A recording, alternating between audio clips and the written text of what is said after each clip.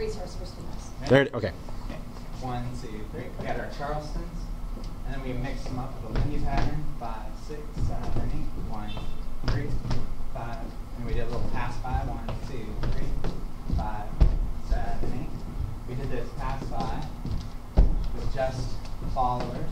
Three, five, just the leaders. One, three, five. And then finally we did it with a turn. Five, six, seven, eight, one. And we did a uh, swing out in front. A one, two, three, five, seven, eight. We did a couple of swing outs here.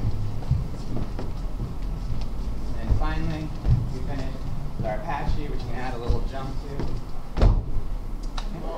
That's it.